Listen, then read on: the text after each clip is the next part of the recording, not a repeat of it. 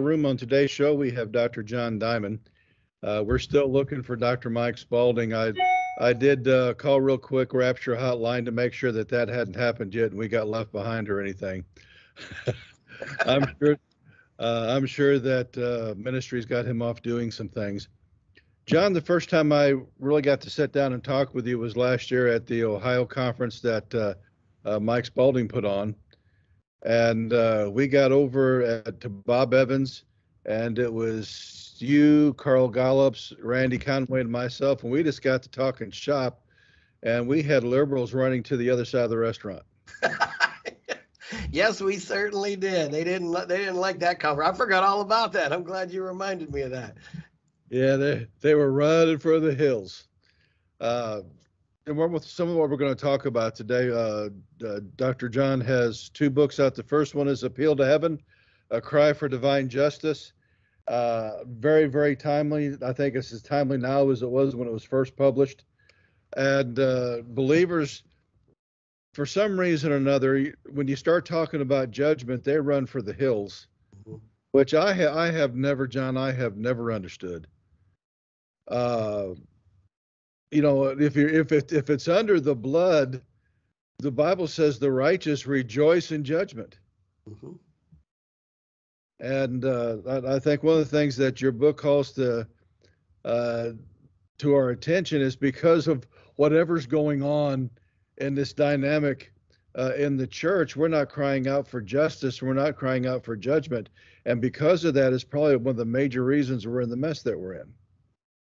Yeah, that's certainly true. And again, it starts with the individual. So I, that that's what I found. I think more than anything is remember Jesus talked about judge not lest you be judged, and he said first get the beam out of your own eye so you can see clearly to get the speck out of your brother's eye. So I mean, it always has to happen with us first. So when we just open ourselves up and we're just like, here I am, you know, judge me, so to speak, whatever's in there, get it out. I want to be right with you. When we do that, then two things happen. One, we, we have the discernment um, the discernment to see, because that's what I mean. If you think about the eye, the eye is one of the own things that you try to touch somebody's eye. So you got to have discernment when you're trying to deal with somebody else or deal with their problems. Um, so you're not, you know, just going in there and poking their eyeball out. And uh, but when you do that that's that's what i find is other like-minded people who really kind of live that same mentality that we're not quick to point fingers at everybody else but we just get the stuff out of our own eye and then we can see clearly to remove the speck from our brother. So a lot of what we try to do and, and I, I know you know this just as well as i do it's not about criticizing it's not about putting people down or saying you're worthless because you're doing this and this. These are all things i used to do right? But i got i got the beam out of my own eye. I live i live that type of life and you know help me let me help you get that speck out of yours because that's that's what christ wants us to do. And i think because we have uh, probably pushed too far on hyper grace getting on one of my soapboxes so that we're not dealing uh, with our own issues that it really impairs us on spiritual warfare. We can't cry out for justice.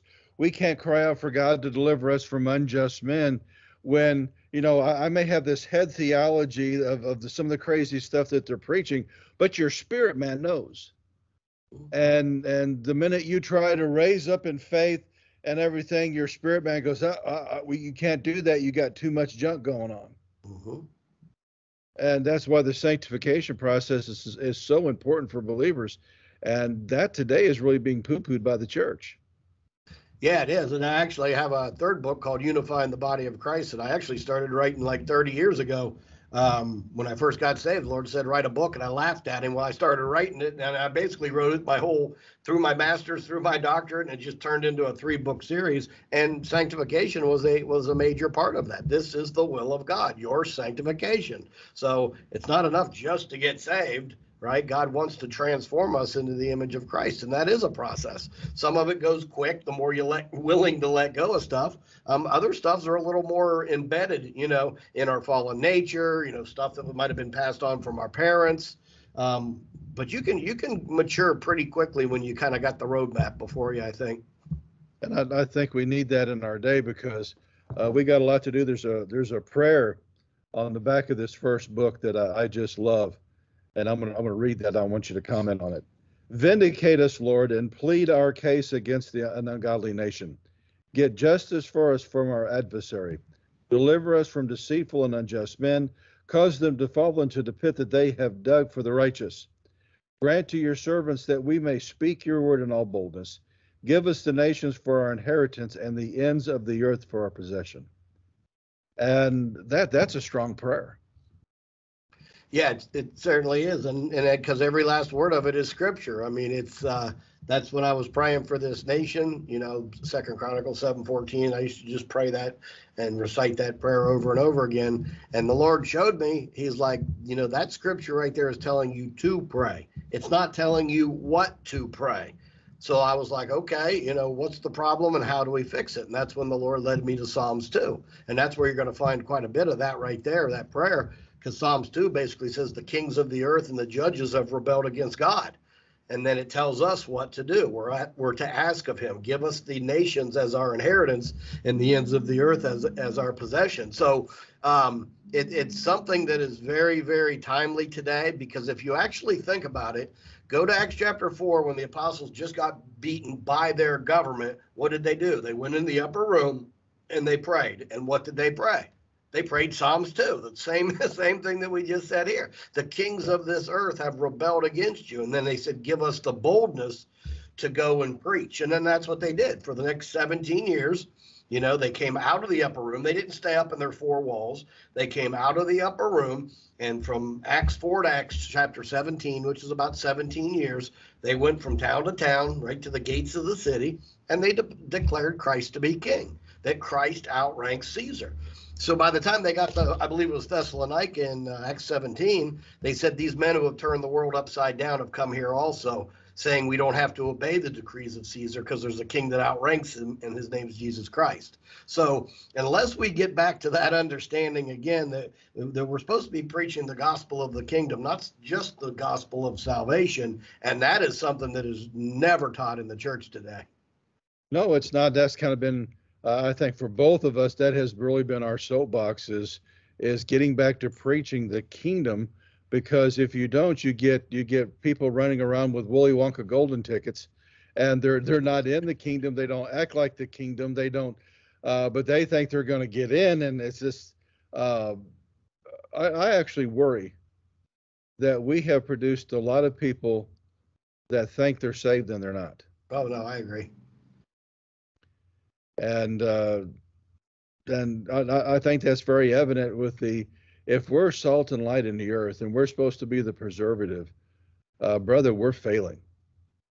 Yeah, yeah, we are, and I, and that's why I always go to those scriptures that says, "Here's the evidence of your faith." You know, that's what it is. Not just saying you have faith. You know, over in James, he says, you know, so you say you believe. So what? Even the demons believe, but faith without works is dead. So I mean, you can you can really tell a believer just by looking at them because they're going to have the works that accompany that. One of the illustrations I gave in Sunday school not too long ago. So if I have two metal containers, right, and you can't see in them, but one of them has hot coals in them, the other does not I don't need to be able to see in that container. I can go and put my hands on them, and one of them is going to burn me, right? So I don't need to be able to see what's in there, you know, to know one has the coals and one does not. And it's the same with faith and works. You know, people say they have faith, and I think that speaks on to what you just said there. A lot of people think they're saved. You know, oh, I'm saved. You know, uh, you know, where are your works? Boy, you say that to someone in the church today. Oh, we're not saved by works, and they go to Ephesians you know, two eight and two nine, but they forget James altogether. So you got to be able to rectify Ephesians two eight and two nine, what Paul said there, and then you got to rectify that with what James said over there. That show me your faith, you know, without works, and I'll show you my faith by my works. So we are not saved by faith, but a person that has true faith will have works. They'll have the works of righteousness. They'll be seeking to advance the kingdom of God. I mean, those are those are things that are evident in people's lives, and those are the people that I hit it off with right away, just like you and uh, you and uh, uh, Randy when we sat down there and ate. You know, one of the things and people also forget in in First Corinthians, the Apostle Paul, basically what we do, we're building on the foundation of the apostles and prophets. And when he was writing that, he wasn't talking about John and, and Matthew. He was talking about Abraham and Moses. And again, you know, Jesus, of course, the, is the very foundation of what we have. But he said, listen, your uh, your works are going to be judged by Christ. A Christian, we're going to go through a judgment. Because one of the things that the uh, that the feasts of Israel teach us, or the feast of the Lord, is you never appear before the Lord empty-handed. Mhm. And uh, in fact, we I just got a message that our my cohort and kingdom stuff is here. I just need to figure out a way to get him in here. There's that oh. handsome young man. We were sharing all the secret sauce of the kingdom before you jumped in here, Mike.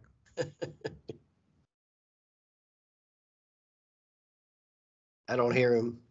Don't don't. There's no mic on you.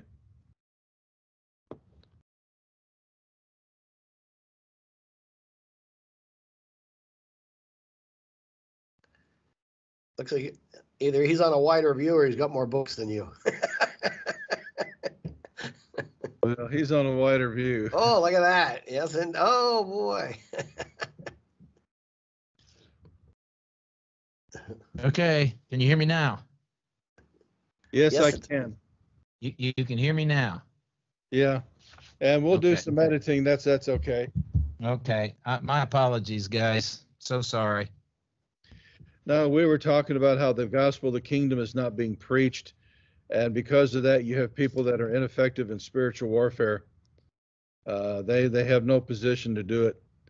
Uh, guys, one of the things that I'm doing, uh, I'm actually going through the book of Psalms, and what I have found out is the Word of God is pretty interactive. You know, when uh, when the writer of Hebrews says that it was it's living and powerful, sharper than a two-edged sword, he wasn't joking. Yeah, that's And right. It's the questions that you ask. It's it's your mindset that you go into, that the Word of God begins speaking to you.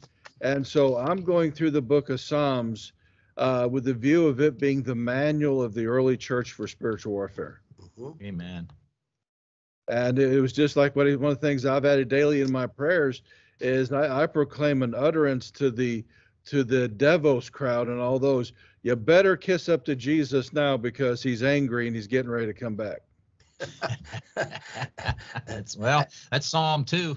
That's exactly Yep. right. Kiss the Son, lest he be angry, and you perish in your way. That's exactly the Psalm two and uh, the parable of the persistent widow in Luke eighteen. That's the whole. That would cover pretty much the appeal to heaven book. It's those two, two theological foundations uh, that is covered in there. Yes. and then you know when when you get the junk out you know i've learned when you when you look at the uh, the feast of years ago i read a, a, really good article by ariel berkowitz on that there's a sanctification process in the feast of the lord. You know in the in the in the spring you make sure everything's under the blood.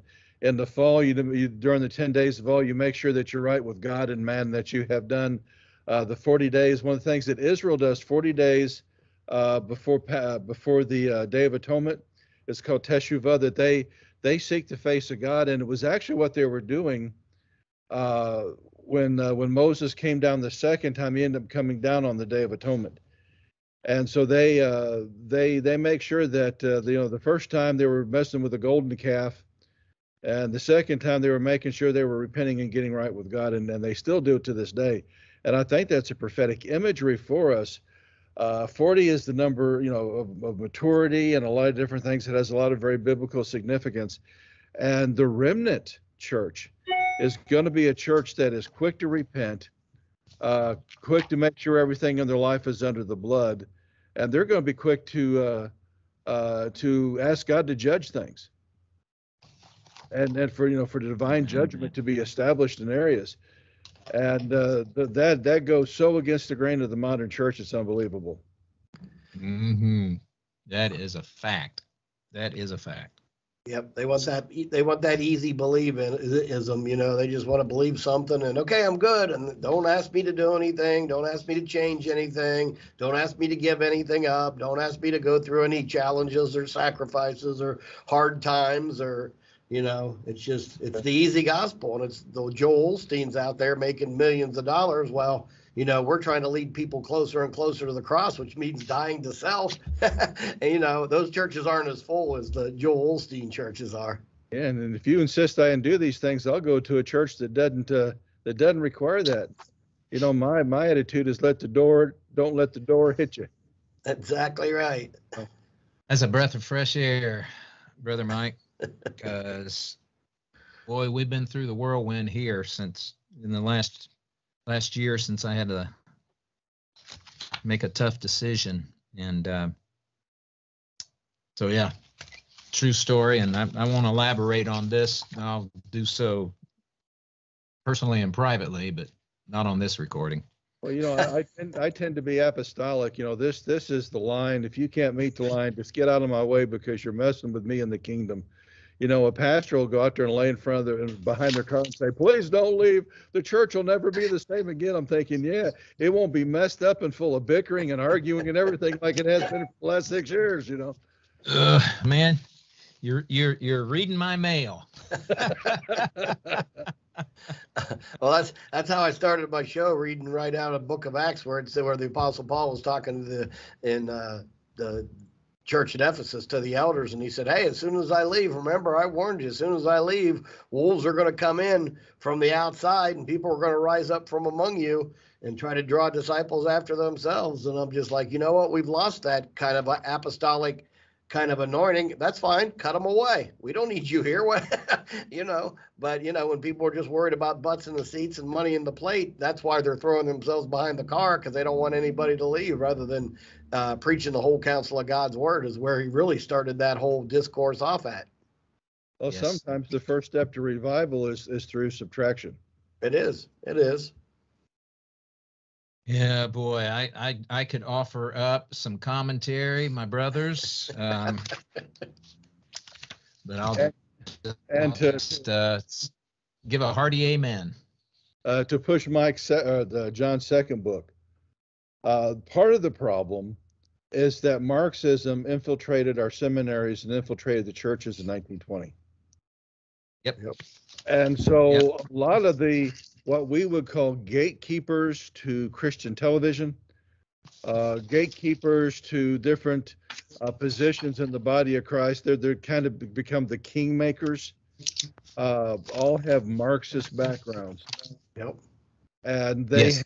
they have torn they have removed the foundations in the church and we we have lost our moral our moral uh, foundations completely uh, brothers i've i've had men try to tell me that the uh, the cross changed sin and sin's no longer sin anymore Yeah. Oh, I've heard that. I've heard that. Wow. Without. Wow. and uh, my response is i kind of turned my head sideways and i said you're so stuck on stupid it's ridiculous uh, True story he- there.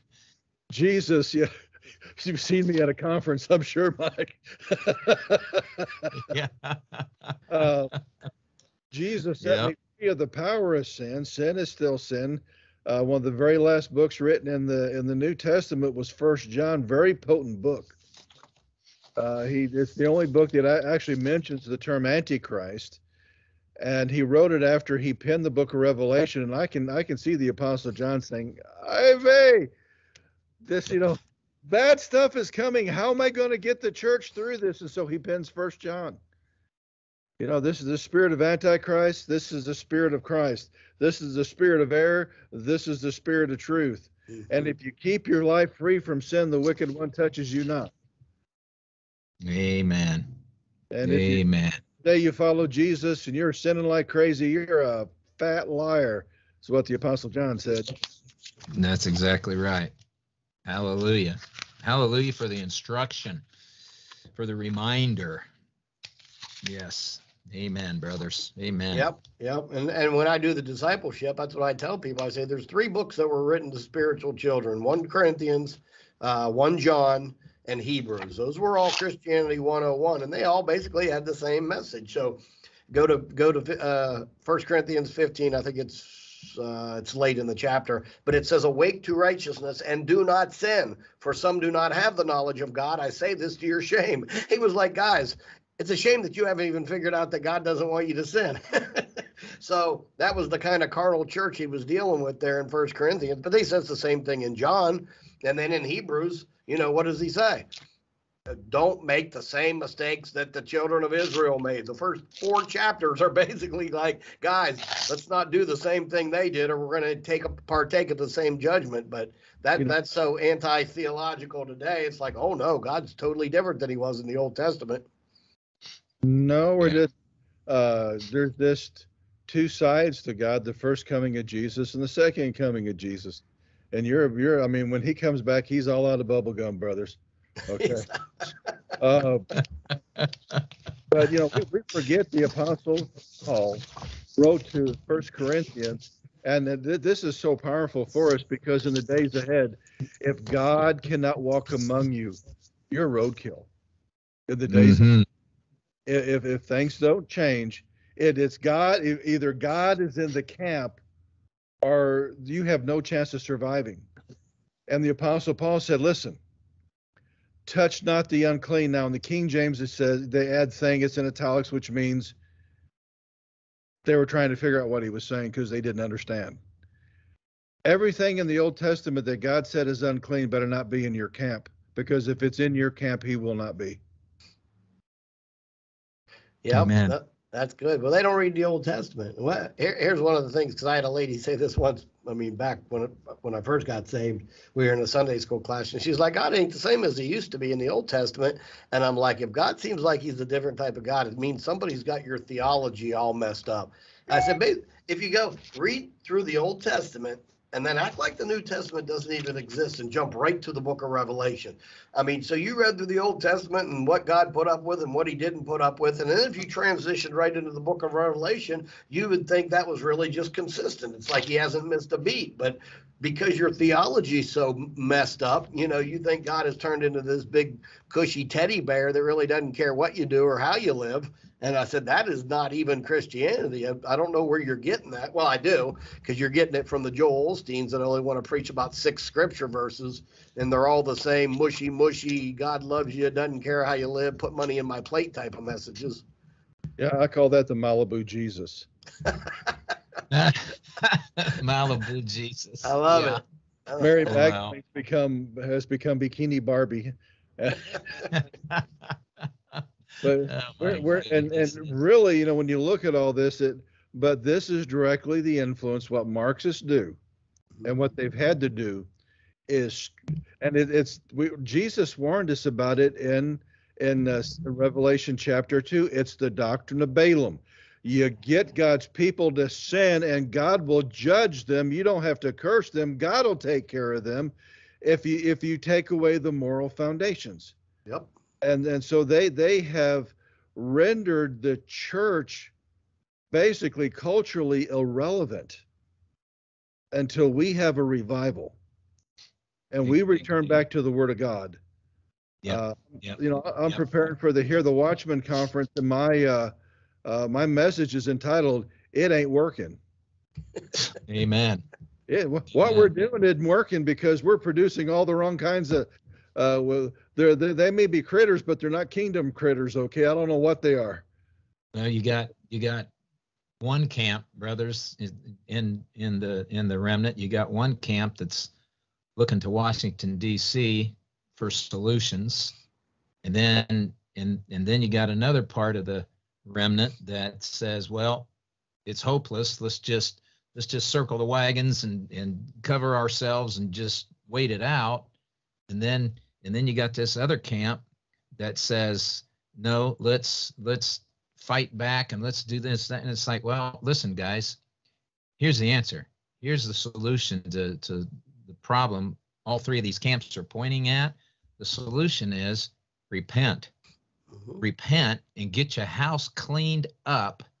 Get your get your act together before god. The very things you've been talking about.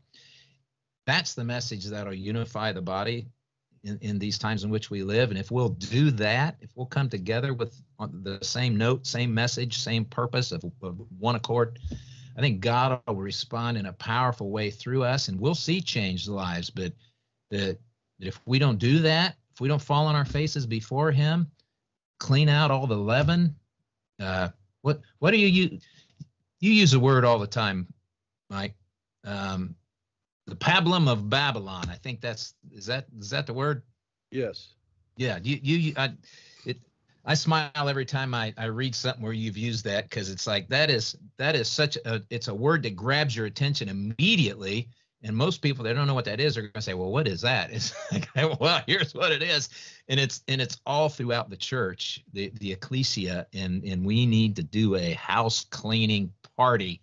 And that goes back to what we were talking about very early on sometimes that means people got to go Yeah, They got to go, and I, I think that um, the the next American Revolution is going to have to be the same as the first. It's going to have to be born on the top of a great revival. Mhm. Amen. Uh, but Amen. there, in, in fact, when I look at the Constitution, uh, uh, guys, this is the first time in my life I felt like I needed to preach and teach the Constitution because nobody's getting it. Right. Okay, Yeah. but the the original Constitution, uh, the first few amendments are, are brilliant beyond compare. Now they get, I think later on they get kind of stupid. Okay, some of them, especially like uh, taking uh, taken away. You know, it used to be I can't remember if it was the Senate or the House that was answerable to your state legislatures, and they appointed them because they had checks and balances. They removed part of that and knocked it out of kilter. Uh, and so there's there's some amendments that are really kind of stupid that later on came because they didn't appreciate it. And I think it was the effects of progressivism beginning to take hold in America even way back then. But they understood the separation of powers. When Yeah. they with the when the, no one man should have all the power, so we're going to have the legislative, the judicial, and the executive branch. The uh, second or the first and second amendment are also about keeping powers out of the control of the government. Free press, free speech. The church is a power. Second Amendment, there's also power on the end of a gun.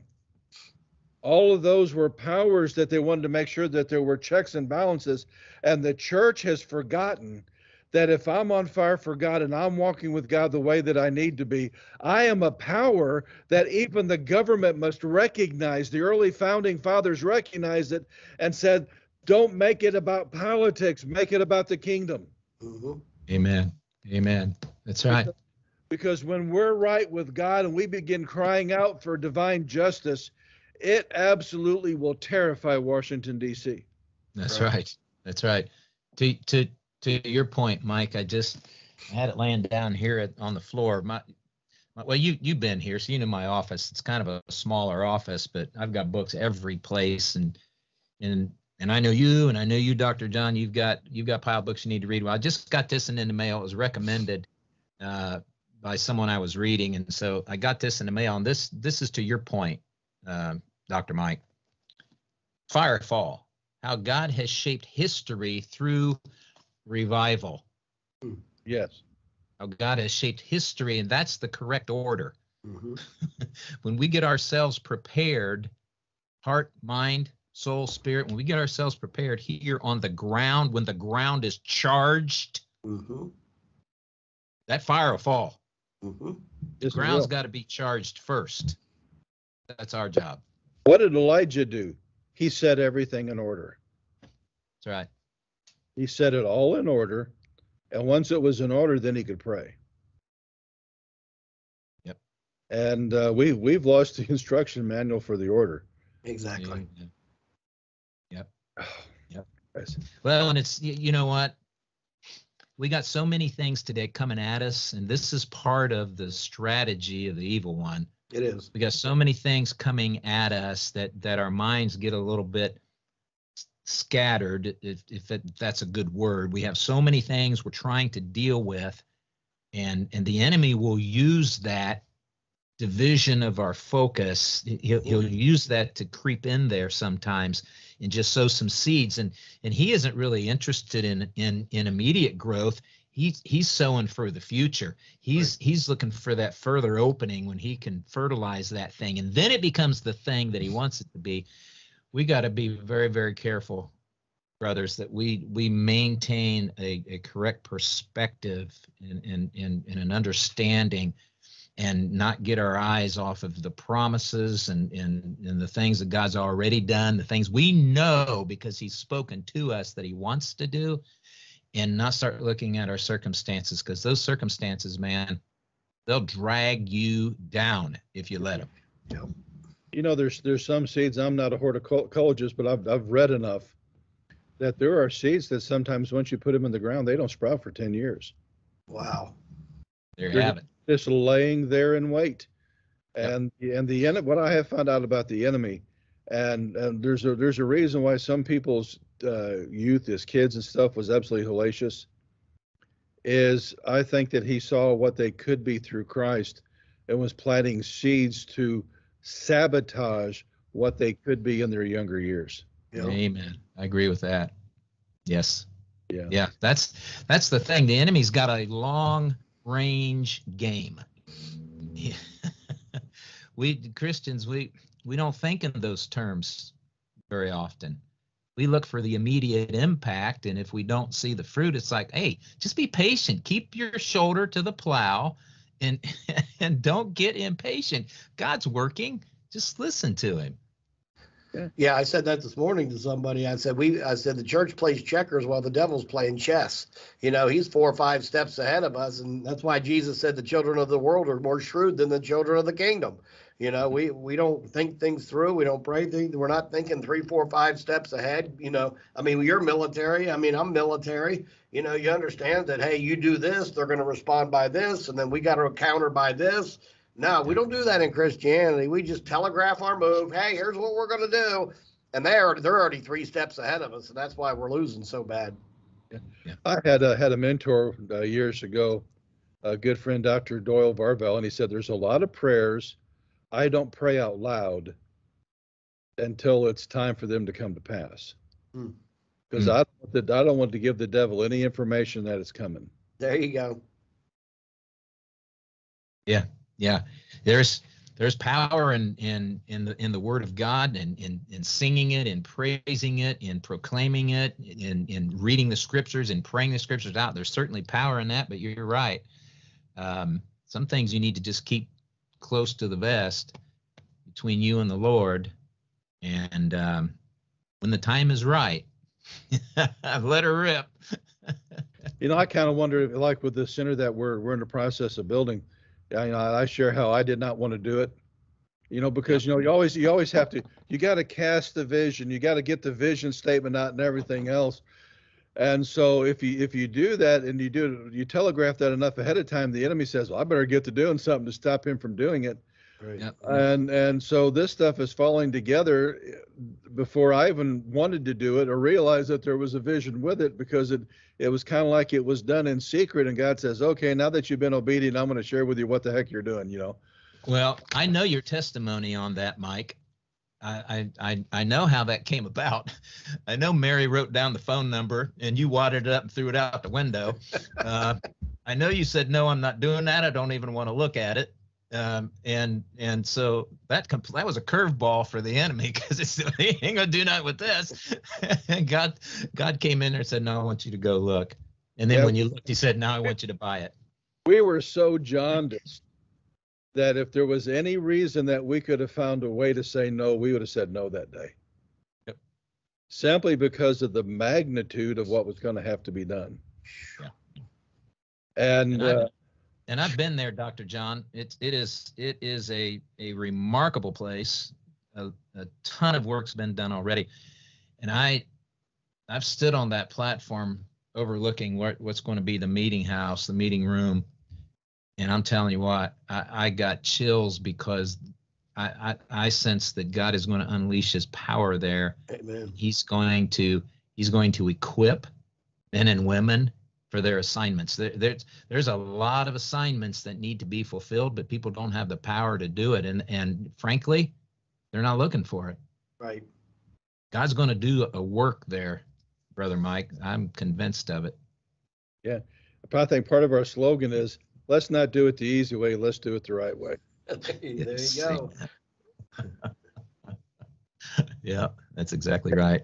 And I, I Well, think you already talked about Mike. Have you already talked about what John's doing on uh, on Brighteon and all that? Oh, we've not got to that. We kind of covered a little bit about his first book. And see, I can, I can, I can, I can promote it because that's my job as the host, you know. uh, and his second one, this one just came out, Fighting the Next American Revolution. And there's, of course, the Soviet flag on the top of the White House, which probably isn't too far from the truth right now. Uh, but guys, what I'm seeing, and see if you guys agree with this, is I see the Democratic Party is basically managing this the dismantling of America Oh yeah. because Yes. there's not enough uh, of um, bad ideas and and lack of skill available on planet Earth to include everything that you're doing. Yes. Yeah. It- that's- it's a that's- Well, and listen, you cannot be consistently, grievously wrong this many times unless it's intentional. Right. this is no accident. I, I- think they've actually broke the laws of physics because they're hitting about hundred and fifty percent right now. That's Some of them are so bad you count them twice. yep, that's exactly right. And uh, and it just shows you how deep uh, and disturbing uh, progressivism has become. We know why, brothers, because it's satanic. Its its core is demonic. Yep. But it just shows you because you've got otherwise seemingly uh, rational people that are supporting what's coming out of of the cesspool that is DC and and that tells you the fight that we have on our hands because the deception is deep on on millions of Americans. I, I think part of it, and this, this is gonna kind of be my mantra, it's not about getting, uh, uh, bodies in, in, in, in the pews. It's gotta be about winning the hearts and the minds, Exactly. actually walking in the kingdom. Well, we've already reached the point, brothers. John, you've been to our fellowship, so so you know we've got a very small building. We've got a very small fellowship. We've reached the point now where our online congregation, our radio congregation, is larger uh, by by a bit than than the number of people that actually show up on our on our uh, days of gatherings. That's where we're at. Yeah, well, I, I, I think the number of genuine Christians in the world are very, very rare. I mean, you can't go into a city probably and find 50 of them. So to think you're going to find, fi- you think you're going to find fi- 50 people in Lima who, who are who are on fire for Christ, you know, the rest of them are just going through their traditions and everything else. So that's why I, I love the radio. I love Brighteon. I love the online stuff because now, you know, okay, there's 500 of us out there, but you know, we're just not locally in the same area. So I mean, uh, I mean, everybody on Brighteon's got really the kind of the same message. All of us that you know go to each other's conferences, we got all the same message. But the way I see it, be honest with you, if you think about the Old Testament, the Levites were not given any land. They weren't given the tribe was not given property, and that's because God wanted them spread out. I would much rather have a church in a city with you there, Pastor, and with you, Brother Mike. I mean, I'd rather, and Coach Dave, but I'd rather I just have one congregation full of all of us. But I think God's got us spread out all over the country like the Levites, just so the word of God is getting, you know, into all these, so we don't have one little tribe and everybody else forgetting about God. Yeah, I, I think we're a net that he's casting. I, I am surprised with the remnant show up. And believe, believe it or not, I'm finding out a lot of them got sick with the institutionalized church a long time ago. Oh yeah, And uh, if if, the, if all the remnant would show up this weekend looking for a church body to be at, there would not be enough church buildings to hold them in any nation. I There- believe that. There are that many. Yeah, I believe that. And uh, although I think we're kind of separate, I think no, the number one thing that I hear the most is I, I feel alone out here. Well, you're not alone. Uh, there are there are more of us all around the world that hunger for God, that are thirsting after righteousness, Yep. that want to see God move. There are more of us than there are those that call themselves Christians that go to church every week. Yep. And and God has us where we're supposed to be, every single one of us, because we're we need to become influencers wherever we are. yes, Yep. Yep. And and and just to back that up, Mike and and John, um, course, you have to be careful when you cite statistics.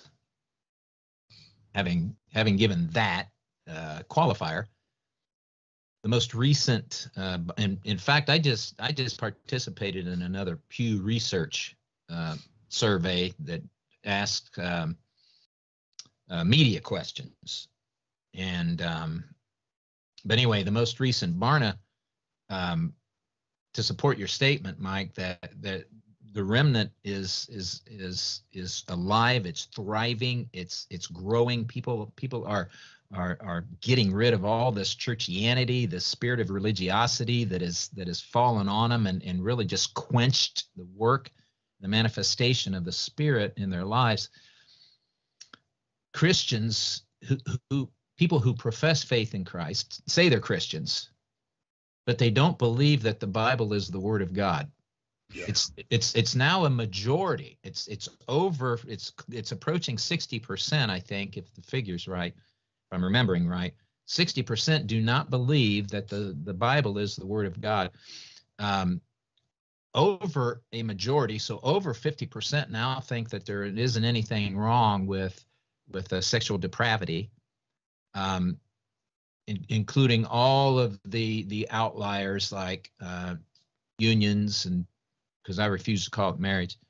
Um, they don't see anything wrong with viewing the, the, the numbers now. Uh, here's a startling one: the numbers among those who profess faith in Christ, as opposed to the those who profess no faith in any religion, are virtually the same in those who participate in viewing pornography and think it's okay. Mhm.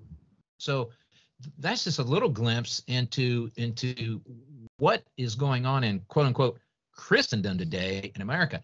It's a train wreck. It's it's a it's a whitewashed tomb. It's a sepulcher full of rotten dead bones. Yep. And it's time. I just pray God throw off this shell that that that that America thinks represents you because it doesn't and reveal your true remnant believers to to America and let's get them saved.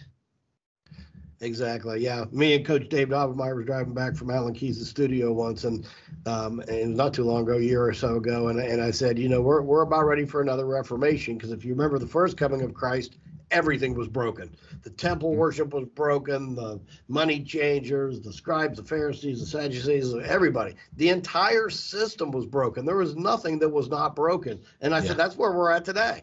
The entire Christianity, what we call Christianity today, is flat out broken, and that's why Jesus had to go out, out of the synagogues and out of the temple and go out into the fields, and you know, and he had Yep. to get the the pimps and the prostitutes and the pushers, and had to get them and lead them to Christ because all Yep. everybody else was so stuck in their traditions and their ruts they couldn't they couldn't see Christ when he came. Yep. Amen. That's exactly right. Exactly right. You know, I wondered, I've, and this is just something I've been pondering and, and putting together some of my stuff. Uh, I kind of wonder if we need to go back almost to the synagogal system that existed in Paul's day, uh, instead of following after Constantine's model of having church. Yeah. Uh, I- because Yes. if you, if you look at it, uh, and there, actually the rows for the men went like this and there was a big aisle for the rabbi to walk in after he taught, you know, 45 minutes to an hour. He may spend the next two and a half hour answering questions Yes. Amen. back and forth with the men and en- engaging them. Uh, we're not engaging the men. We're not, we're not, uh, uh, we're not, uh, requiring them to think at all. Yep. We, we have emasculated the male. Yep. Uh, we've misinterpreted so many things that's in the New Testament. And uh, guys, if we don't end up with some some type of mechanism that digs deep, and have ministers that know the word enough to say, you know, I don't know. Let's let's spend the next 45 minutes digging in the word. Pull out your laptops. We're getting ready to pull out your Bible software, and we're going to do some digging uh, Yes. so that we as as a as a group can begin trying to find the mind of the Lord on this because the question you asked I have never been asked before in my life and I'd like to know the answer. Let's let's Yep. dig together. Yep. Well, we're talking about the the real the the the construction, the maintenance, and the expansion of the ecclesia. That's that's what we're talking about here, and and that was the original model, but we got away from that, right? You know, the first yeshiva that I was ever a part of, and these these folks had uh, basically built on. There was a, a building separate from their house, but you could probably see 50, 60, 70 people in there, and they had tables set up and everything. And and uh, Dr. Koch uh, basically gave out a basic theme, and they all went to they all went to work and discussing it back and forth. The teenagers were engaged. They had uh, all kinds of reference materials, uh, all on the sides of the walls, and so you could get up and you could pull down lexicons, commentaries as you were digging into it. And this thing went all day long. They they stopped for lunch and they kept on going. It got about dinner time. Some of the adults said, you know, I, I think we may have to quit. And guys, it was the teenagers that that really, oh, do we have to quit? You know, Uh, Beautiful. surely, you know, the, the sun's going down, we could order pizza, you know, because it was, it was a Sabbath fellowship. You know, we could, we could have somebody deliver pizza. We could keep on going for another two or three hours. The Yeah. teenagers. But they, That's- they, that's were- they were more profi- proficient in using Greek and Hebrew lexicons than most ministers I know. Oh, yeah. Wow. Beautiful. That somehow or another, we need to bring that back into the church. Yes. So when you going to do one, Mike? I'm probably, I'm probably going to end up doing one whenever we get this building done. Uh, Beautiful. Beautiful. And uh, I I think one of the things I'm going to do, even I may even do this and then throw them off down here, the Watchman. I get 90 minutes. I may preach for about 60 minutes and then take 30 minutes of questions and answers. Oh yeah. That's that's great. Yep. That's fantastic. I like that. Yeah, and I know, uh, I think Scott Lively's doing something like that. Last time we were in a conference together, he was talking about some of the stuff that he was doing. And I remember when I, when I first started ministering to people, we'd go over to, go over to their house, coworker of mine, and I mean, his mom and dad, her mom and dad, and sisters, and everybody came together, and we just spent the entire night there, just studying God's word and eating and fellowshipping, and it was very casual, and questions were being asked. I mean, I'm pretty sure that was the more of the model of the early church than this real rigid come in, sit down, listen to somebody else, you know, some guy in skinny jeans, you know, give a Christian concert for an hour and a half and then go home and then you know it's it's it was more relational. It was more about you know iron sharpening iron rather than just sitting there and listening to some guy spout off for 45 minutes.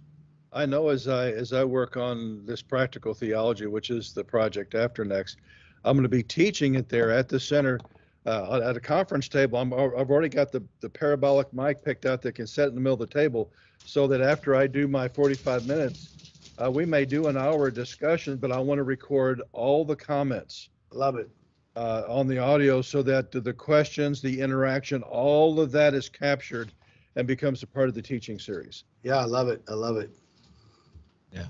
That'd be fantastic. I have found, I have seen people, guys, let's say they were saved six months ago, but they are so hungry Mhm. and they're asking deep questions that uh, I've even seen some some older saints are scared, you know, they're they're afraid to ask, and then you know the young ones aren't. That's right. They'll Yeah. go and say, "Why are we doing this this way if it doesn't work?" That's a good question, Jimmy. We'll bring that up at at next year's annual meeting, and hopefully by then you'll forget. You yeah. That's right. yeah well the I mean the older ones the ones that have been sitting in church for 30 years you know they, they don't want to they don't know the answers but they don't want to ask because you know i'm an elder i you know i don't want to look like i don't know something there's no there's no humility that you know there's no teachable spirit there so that's why you run into that you know rigid type of phariseeism Well, I think this will help bypass uh, some of the things that are going on. When I was on the Alan Key show, John, that you set me up on, and I really the brother the brother that was filling in for him, him and I really connected. And one of the things that came out of that conversation, he said, even with ministers, if you challenge their theological soundbite, uh, they respond with anger, they do absolutely and and that's because they don't have an answer, and they, they don't even understand the depth of what they just of of whatever they just said that really sounded good. You know, it, it, it may have been that good fortune cookie on the outside, but on the inside, there, there's not even a fortune, man. There's just an empty shell. Yeah. Yep. Yep. True story. I've experienced that many, many, many times over the years, brothers. Many times. So, John, how do we move from how do we move from here? What are you what are you promoting in your books? Uh, well, it depends on which ones. The the two, uh, the next fighting the next American Revolution, I actually wrote in 2006, um, warning where we were headed. We were headed towards Marxism because now I just got out of the Air Force and I was trained during the Cold War, so I knew what communism in other countries looked like. Apparently, people couldn't see it here when it was right here in their face. So I tried to warn everybody for a long time, and then I just let the book die off and me and brother Mike were out at a conference in Missouri, and he said he just read his book. He said, "Man, you need to get this thing back out there." So we so we relaunched it. Um, but I mean that'll that'll take us back to what the founding fathers entailed. Um, and then the appeal to heaven is really how we get there. It's really a book on a uh, imprecatory prayer, imprecatory psalms. You know, calling God in, Lord, get them. break the teeth of the wicked, break the armor of the evildoer, you know, because there's a lot of wicked people out there in this world and they're harming the innocent. Well, starting in the womb, right up until you know, right up until the elderly. I mean, they don't care. They they will feast on anything and anybody, you know. And like uh, Pastor Mike says, I mean, these are Luciferians. These are not, you know, just people who are misguided. These these are people that that have rejected the truth. And that um, I thought of that earlier in the show when we were talking about Second Thessalonian, when it when it talks about the the man of sin and the Antichrist coming on, and says God will send a strong delusion because they had not a love for the truth. I think there's enough truth out there right now that people are actually polarizing into camps. And I tell people, you better be very very careful when you reject truth because you're going to get to the it's like a check valve you're going to get to the point of no return just like pharaoh did and you, and and you're going to think you're doing right and you're not doing right so i think that's what we're going to see manifested itself here in the coming years Mhm. I think the precatory prayers is so important because uh, the police can't do it all. Uh, and, and the court systems are rigged. And a lot of times we have we have a lot of good police officers that have their hands tied. And so it, Yeah. it's, it's going to take the judgment of God. And I tell you what, when the judgment of God starts falling, it will get the elite's attention.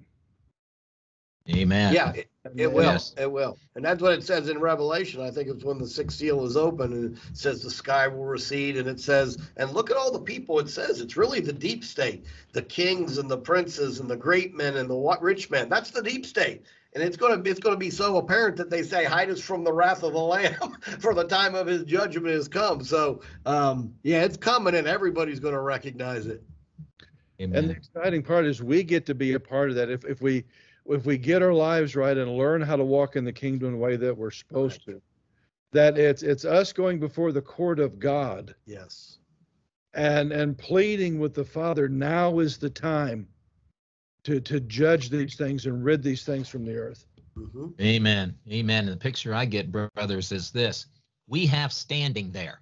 yes we do We have standing there. Our enemies do not. correct Why aren't we taking advantage of that? Yep, that's exactly right. What the what's the saints under the stairs say? I think the cry of the martyrs. How long, O Lord, faithful and true, till you judge those on the earth who shed our blood? And he's like, sit Yeah. tight a minute. I'll get to him in a minute. So you Mhm. know, oh, you say that Right. today in a modern church. Oh, that's not very Christian that you ask God to, you know, avenge us and get our blood. And so yeah, the, the church's mindset is just so broken. It's not funny. That's why my show's called America Unhinged because we're so unhinged from reality which is the word of God and the truth in that's found in scriptures, and even the church is so broken it ain't funny. That's also called the evening news, by the way. But that's there you go. There That's you why, go. why there's Brighteon TV and, and and different things to actually now a word from reality. Yeah. there That's there right. you go. That's awesome. Yep, that's exactly right. Amen. well, God's raising up so many people. I mean, you guys have got your platforms. I'm I'm doing Gatekeepers Week this week. I got Jeff Dornik and all his hosts on this week. So I'm Awesome. trying to ju- I'm just trying to promote as many people out there that got these independent platforms. Um, of course, Brighteon's got like 30 hosts, and we're in 18 countries. But you know, there's a lot of people that have been doing this for a while, and those are the people we're trying to pull together, and not you know, hey, watch my show or watch my program, but hey, Dr. Mike's got a great show. You know, Dr. Lake's got a Mike show. Look at the gatekeepers. They got they got 12 good, you know, podcasters on there. And these people are sincere followers of the kingdom, and that's why I'm promoting them. Amen. Amen. Yeah. John, John, while we have you on here, give us how how do we, how do people connect with you? Uh, you're on Brighteon TV with it's called America Unhinged. Is that uh, a morning show five times a week, or how how is your show laid out? Yep, you can go to brighteon.tv and uh, every one of the hosts really live streams uh, right there. Um, nine o'clock to 10 o'clock Eastern time is when my show is. And it's also just got picked up on Conservative Television of America, which is another brand new startup um, that they're going to hope to have affiliates in a bunch of different cities. And um, it's going to be a good work. But yeah, they, they can't contain it. This is what I tell everybody. They want you to play in their sandbox and play by their rules. Well, guess what? They're kicking so many people out of their sandbox. we're just starting to build our own sandboxes now where we're not bound by their rules anymore. And they're going to find out they're sitting there holding their little shovel and their little pail, and there's nobody else to play with or control because we're all going to be over here leading like we should have been doing to begin with. That's right. Yes, Why- amen. Why do we want to mess with a sandbox when our daddy owns the beach? there you go. Exactly right. Why do I want to be controlled by anybody but the Holy Spirit? That's been my message for about six months from now. You know, people ask me, what should I do? I'm not your Holy Spirit. E- Each and every one of us should be controlled by the Holy Spirit, period. End of discussion. And me and Brother Mike's talked about this quite a bit. Stay in your lane. Whatever you in whatever you're lane. called to do, you just do that thing. God has somebody else to do another thing. God has somebody else to do another thing. And when we all do that, that's where we come together in unity. That's right. Brother Amen. Mike, something else you'd like to share before we, uh, A- Amen. No, it's, I know we could fellowship until the cows come home. You know, we that's a fact. Yep, that's a fact. Nope, the Lord is doing a thing. He's building the ecclesia. We, we, this, it's expanding, it's growing. We don't need the world and the world, so we don't need Babylon, friends. No, We we gotta don't. get out of this mindset. Let's just break that mold, that thinking. God is doing a thing. Let's get on board with that. That's right. Well, gentlemen, thank you for being on today, and we're def, John, we're definitely going to have you back on. And we may actually, I may want to try to do one of these live, at least audio down in Ohio. Okay, that'd be Uh, great. Bring, bring some of my equipment and, and uh, three or four mics where we can sit down and do a roundtable. Yeah, no, that's perfect. I'd love to do it. Fantastic. All right, Yep, brother. fantastic. God bless, guys. Thank you for being Thank you, on. brothers. Thanks for having me. Stay informed. Tune in to weekly podcasts by Dr. Michael and Mary Lou Lake to keep you informed, inspired, and empowered in the kingdom of God. Tune in to www.kingdomintelligencebriefing.com. That's kingdomintelligencebriefing.com.